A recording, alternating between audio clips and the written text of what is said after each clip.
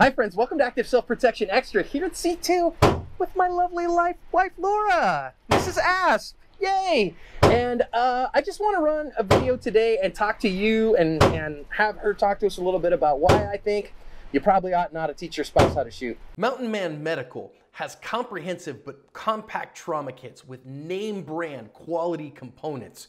They also have discounts available for firearms instructors, teachers, veterans, and others. Please go check them out at get-asp.com slash mountainman and thank them for sponsoring today's video. We, we haven't rehearsed this, by the way.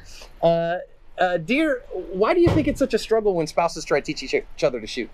Um, I think there's a level of intimacy with people that, um, you know, significant others. And so it's really easy to hear things come across in a judgmental way or get defensive about something. What's said is not necessarily meant the way it's taken. Mm. Um, and then whoever's receiving that will then react appropriately to what they feel like they've been told. So I think there's just a communication breakdown that happens and you don't get that with a, a trainer or a, another teacher or somebody outside of your family. So it's funny because I really think so. A spouse, a spousal relationship, significant other relationship, whatever, is a relationship of equals, right? Mm-hmm. It, it, has to be. Um, if your marriage is not a marriage of equals, that's a parenting relationship, and there's there's not that you know authority like we have now as soon as you get an instructor student relationship now that's not a relationship of equals right. that's one person is the expert the other person is not and so when you give a uh, your spouse a a, um, command, as we say, that's not going to be received well because you're not used to treating each other that way. And then you, as the the spouse who's learning, might go, "Well, wait a minute, I feel intimidated here because this is your area and your place of expertise." and then when you say, hey, do this thing, and you go, oh no, I don't know how to do it well. So you don't do it as well as you can. And then they say, hey, do the thing. And you go, I'm trying to do the thing. And then they're like, well, I'm just trying to teach you to do the thing. And we get this big encoding and decoding problem right. because we go from here to here. Yeah. And that creates this big relational problem. Now, I think this is why, straight up, when we go to the range and stuff like that, if it's learning time, I would far rather pay for my wife to take a class with someone else. It's one of the reasons when Neil comes into town, hey, let's go to the range. Stephanie comes into town, hey, let's go and get that. Because from your BFF, sometimes you can get that and it's cool, right? Right. You're like, oh, this is their bailiwick.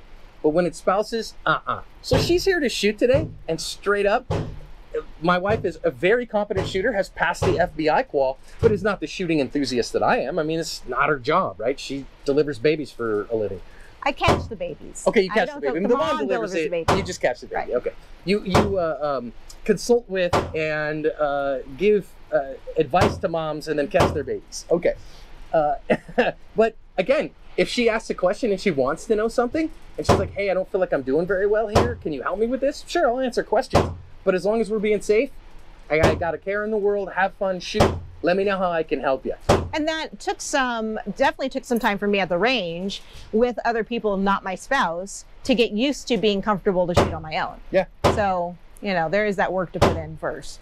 And, and here's my other thing. Again, my wife is not a big shooter, right? Like, uh, again, has her Arizona CCW, uh, you know, is able to shoot, pass an FBI qual, all those things, but uh, I, when she wants to come to the range, she doesn't come to the range nearly as often as I do. I just get excited. What? You want to come shoot?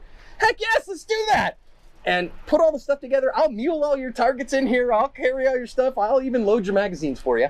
Not um, today. Not today. I mean, I was busy shooting another video, but uh, you know, again, just be excited about them being willing to shoot. Get excited about them being a part of things, and let that excitement be what helps you instead, rather than oh, I'm gonna I'm gonna give you all the knowledge that I have guys, just let them shoot and have fun. So. And sometimes I like to just come, even though I'm not going to be shooting. I'll come and hang out. We've got the drive time to talk. We've got, you know, I can I can take an interest in things even if I'm not directly shooting. So for some people that aren't at that point yet, where um, they want to shoot, go to the range with them. You don't have to shoot, but to take an interest in your significant other's passions and joys. Love it.